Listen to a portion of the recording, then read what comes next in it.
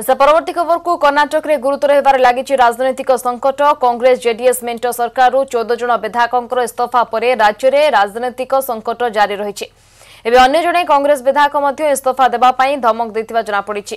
ସେ ହେଉଛନ୍ତି ବାଘେପଲ୍ଲୀର ବିଧାୟକ ସୁବ୍ବା ରେଡ୍ଡି।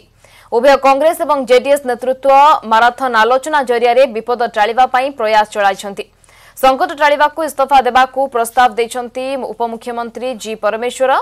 ସେପଟେ ଆଜି ବିଜେପି ନିଜ ନିଜର ବିଧାୟକ ଦଳ ବୈଠକ ଡାକିଛନ୍ତି ଆଜି ସନ୍ଧ୍ୟାରେ ବିଜେପିର ବିଧାୟକ ଦଳ ବୈଠକ ବସୁଛି କଂଗ୍ରେସ ମଧ୍ୟ କାଲି ବିଧାୟକ ଦଳ ବୈଠକ ଡାକିଛି ଏଥିଲାଗି ବିଧାୟକମାନଙ୍କୁ ହ୍ୱିପ୍ ଜାରି କରାଯାଇଛି ଏପଟେ ମୁଖ୍ୟମନ୍ତ୍ରୀ ଏଚ୍ଡି କୁମାରସ୍ୱାମୀ ତାଙ୍କ ବିଦେଶ ଗସ୍ତକୁ କାଣ୍ଟଛାଣ୍ଟ କରି ଫେରିଆସିବା ପରେ ରବିବାର ରାତିରେ ମେଣ୍ଟର ବରିଷ୍ଠ ନେତାଙ୍କ ସହ ତାଙ୍କର ଆଲୋଚନା କରିଛନ୍ତି ମେଣ୍ଟ ସରକାରକୁ ବଞ୍ଚାଇ ରଖିବା ପାଇଁ ସେମାନେ ଯଥାସମ୍ଭବ କସରତ ଚଳାଇଛନ୍ତି ଏପରିକି ବିଦ୍ରୋହୀ ବିଧାୟକମାନଙ୍କୁ ମନାଇବା ପାଇଁ କି କି ପଦକ୍ଷେପ ନିଆଯାଇପାରିବ ସେଥିପାଇଁ ବିଭିନ୍ନ ବିକଳ୍ପ ଖୋଜା ଚାଲିଛି ବିଦ୍ରୋହୀ ବିଧାୟକଙ୍କ ସହ ଯୋଗାଯୋଗ କରିବାକୁ ମଧ୍ୟ ପ୍ରୟାସ କରାଯାଉଛି ଇସ୍ତଫା ଦେଇଥିବା ବିଧାୟକମାନେ ମୁମ୍ବାଇର ଏକ ହୋଟେଲରେ ରହିଛନ୍ତି ଯେପର୍ଯ୍ୟନ୍ତ ସେମାନଙ୍କର ଇସ୍ତଫା ଗ୍ରହଣ ନ ହୋଇଛି ସେମାନେ ସେ ପର୍ଯ୍ୟନ୍ତ ସେଠାରେ ରହିବେ ବୋଲି କହିଛନ୍ତି ସେପଟେ ରାଜ୍ୟରେ ରାଜନୈତିକ ଅସ୍ଥିରତା ଲାଗି ରହିଥିବା ବେଳେ ନିଜ ନିଜ ନେତାଙ୍କୁ ମୁଖ୍ୟମନ୍ତ୍ରୀ କରାଇବା ନେଇ ଆରମ୍ଭ ହୋଇଛି ଭିନ୍ନ ଭିନ୍ନ social media campaign Siddaramaiah Mallikarjun ಖಡ್ಗೆ DK Shivakumar ଏବଂ ରାମଲିଙ୍ଗା ରେଡ୍ଡୀଙ୍କୁ ମୁଖ୍ୟମନ୍ତ୍ରୀ କରାଇବା ଲାଗି ସୋସିଆଲ ମିଡିଆରେ ଭିନ୍ନ ଭିନ୍ନ ଦାବି ହୋଇଛି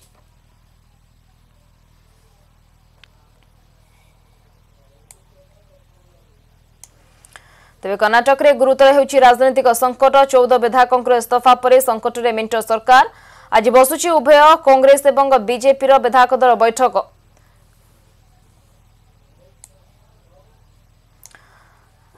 কংগ্রেস জেডিএস सरकार সরকার চৌদ জন বিধায়ক ইস্তফা পরে রাজ্যের রাজনৈতিক সংকট জারি রয়েছে এ সম্পর্কের অধিক আলোচনা ফোন লাইনে যোড়ি হয়েছেন আমার বেঙ্গালুরু প্রতিনিধি রৌফ অহমদ अहमद जी, क्या अभी सूचना आ रहा है इस्तीफा जो दिए हैं विधायक, उनके लंबा लिस्ट के कारण अभी कर्नाटक में एक राजनीतिक संकट दिखाई दे रहा है। क्या पॉसिबिलिटी है इस्ताहार को जो इस्तीफा दिया गया है उसको वापसी करने का? अभी जो कोशिश यहाँ पर चल रही है रामलिंगा रेड्डी जो प्रमुख नेता हैं कांग्रेस के, उनके साथ जो मुख्यमंत्री एच डी कुमार स्वामी की जो मीटिंग हुई है, वो काफ़ी महत्वपूर्ण मीटिंग समझी जा रही है। देखना यह है कि इसका क्या रिज़ल्ट सामने आता है।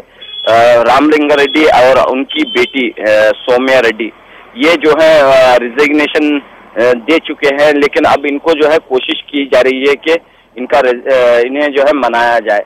तो इस तरह एक ग्रुप को जो है आ, कम से कम सात से आठ लोगों को वापस लेकर आने की कोशिश यहाँ पर देखने को मिल रही है और इसके लिए अलग अलग मीटिंगें चल रही हैं और यहाँ पर सिद्धरामैया मल्लिकार्जुन खड़गे डीके शिव कुमार और खुद मुख्यमंत्री एच डी कुमार स्वामी ये सभी लोग जो हैं कुछ फेरो बदल करते हुए कुछ ऑफर्स का भरोसा देते हुए इन्हें जो है मनाने की कोशिश जो है लास्ट स्टेज में जारी है। अहमद अभी चर्चा हो रहा है कि सिद्धरामैया का जो रणनीति है वो अभी कहीं ना कहीं काम कर रहा है और उनके रणनीति के हिसाब से अभी जो विधायक है वो रिजाइन कर रहे हैं। उसके ऊपर अभी क्या चर्चा चल रहा है कैसे उनको मना जा रहा है? देखिए प्रमुख जो ये इस पूरे घटनाक्रम में जो मुंबई चले गए हैं शासक उनका अभी कोई वहाँ से कोई फॉर्मल बयान नहीं आया है। तो ये किस तरफ़ जाएँगे? बीजेपी में जाएँगे या फिर जो है आ, कुछ स्टेप लेंगे? ये सभी चीज़ें जो है अभी क्लियर नहीं हो पाई हैं। लेकिन यहाँ पर जो कोशिश चल रही है सिद्धरामैया की जो रणनीति है कि वो, वो चंद फॉलोअर जो हैं सिद्धरामैया के उसमें हैं जो जिन्होंने इस्तीफा दिया है तो उनको जो है किसी भी तरह से वापस लाने की कोशिश कर रही है। तो दूसरी तरफ़ जो है बीजेपी भी अपने विधायकों की सुरक्षा के लिए पूरी रणनीति तैयार की हुई है। बीजेपी की को डर है कि कहीं चंद उसके एमएलए जो हैं, जेडीएस और कांग्रेस न ले। तो इसलिए रिवर्स ऑपरेशन कमल को न होने देने की बीजेपी की एक रणनीति है। तो दूसरी तरफ़ जो है कांग्रेस और जेडीएस ये पूरी कोशिश कर रहे हैं कि उसके जो विधायक चले गए हैं उन्हें वापस लाया जाए। अहमद दूसरी तरफ़ से अभी कांग्रेस का विधायक दल बैठक भी बैठने वाला है। उसमें क्या क्या आलोचना होगी क्या उसमें होगा कार्यक्रम? जी प्रमुख जो इस पूरे घटनाक्रम में जो है कल का दिन काफ़ी महत्वपूर्ण होगा। स्पीकर ने जो है, इन तमाम जो विधायक है मुंबई में जो है, रिसोर्ट में जो है, उन्हें जो है टाइम दिया है, वो वहाँ पर जो है, उस वक्त उनको हाजिर होना है, स्पीकर के सामने। स्पीकर के सामने हाजिर होना है, इसलिए जो है, इस दौरान जो है, जो मीटिंग हो रही है, विधायक दल की जो मीटिंग है, वो भी महत्वपूर्ण है कि कितने विधायक उसमें हिस्सा लेते हैं, और कितने आंकड़े जो है, कांग्रेस के पास होते हैं, कितने आंकड़े जेडीएस के पास। ये संख्या बल जो है काफ़ी महत्वपूर्ण है। जैसा कि हम देखते हैं कि 119 एमएलए कांग्रेस और जेडीएस के हैं, जो इस वक्त गवर्नमेंट चला रहे हैं। यहाँ पर ये जो घट, तादाद है बीजेपी की है 105 एमएलए बीजेपी के पास 105 एमएलए हैं।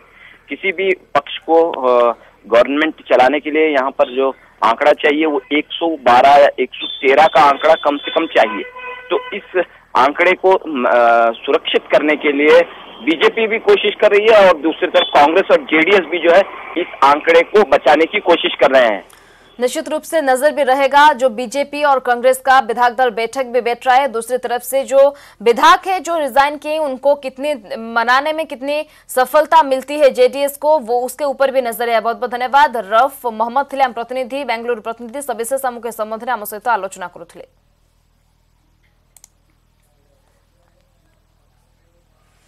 आम ओडार बर्तमान समय गोटे छोटिया ब्रेक्र